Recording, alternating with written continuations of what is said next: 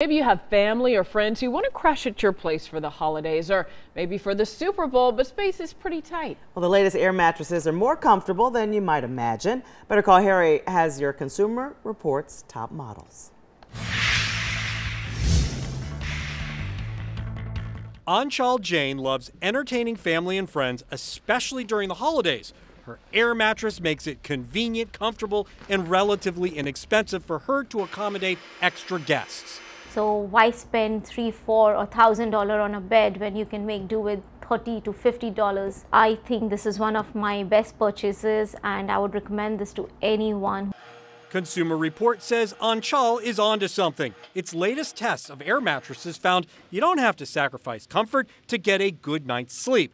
Testers looked at both double and single height air mattresses an important distinction you'll want to consider Double height mattresses tend to cost a little bit more, but they're easier to get out of when compared to single height mattresses. Testers weigh, measure, inflate, and deflate both types of mattresses. Then they get down to what's really important, otherwise known as the Consumer Reports deflection test.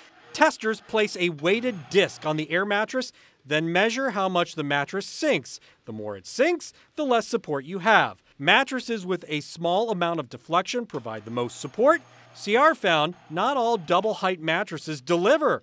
This one deflects very little, about one and a half inches, but this $120 King Coil sank almost six inches. Not only is the King Coil the most expensive mattress that we tested, it sank the most in our deflection tests. It also is the heaviest mattress, so if you're trying to move it around your house, it can be a little inconvenient. In the end, the Simmons Beautyrest Double Height Air Mattress for $68 is CR's top rated mattress.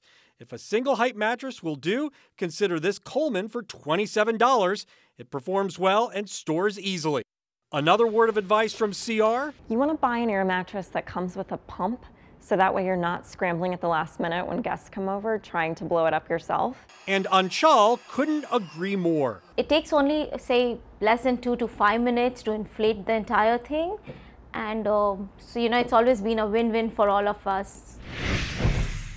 The Consumer Reports testers found that it took very little force to puncture a hole in any air mattress. So you may want to keep your dog or your cat or anything sharp pointed in the other direction. I'm Better Call Harry with your Consumer Reports.